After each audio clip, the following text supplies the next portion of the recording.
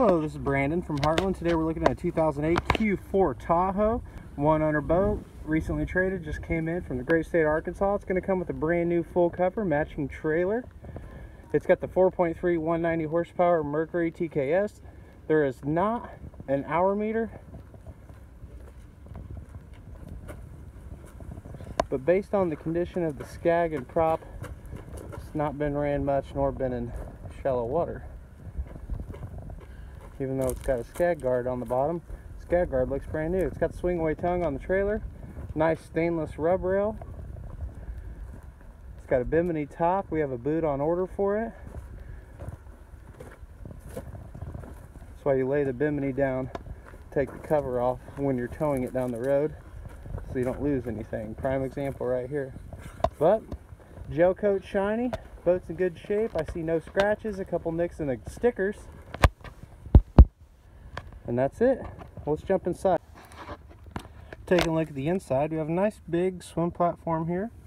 Diamond plated skid proof to stop us from sliding off. It's where our ski tow eye is, where our anchor light goes. Got a couple little nicks that we'll fix before we sell it. But the vinyl is actually, other than three little places, nice. It's nice and soft. Stitching's good. The seams aren't dry.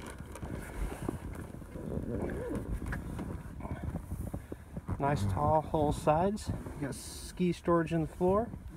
It's rated for seven people. You have full instrumentation. Come up in the bow, we got storage underneath the seats here. Grab handles for your crazy drivers. Port side. We also got cup holders, cleats, port side captain's chair. Over here we got CD player, little 12 volt adapter. The CD player does have the auxiliary hookup. Got a little dry storage box here. Got LED interior lights, cooler underneath the back seat. Let's open that engine compartment. We pop the engine hatch on this Tahoe.